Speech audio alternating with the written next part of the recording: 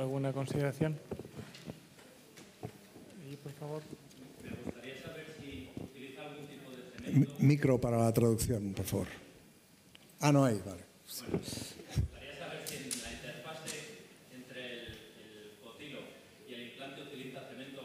No, en este sistema no va con cemento porque ambos componentes van fuertemente cogidos por pequeños tornillos, dos, tres tornillos es lo habitual.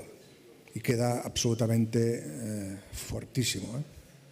Sí, yo sobre esto una pregunta, porque hay veces que de tipo de efecto lo que hace es que posiblemente el acomodar la construcción sólida del aumento más el cotilo en el aumento hace que te verticalice el cotilo, puede ocurrir. Sí. Y tengo entendido que sí que está permitido ahora colocar independientemente de lo que es el aumento, con eso, con cemento. Con como- cemento. Está permitido, es a demanda de, de los utilizadores, pues yo creo que la casa lo, lo permite. Pero claro, inicialmente la técnica en su prospecto pues no, no va con cemento.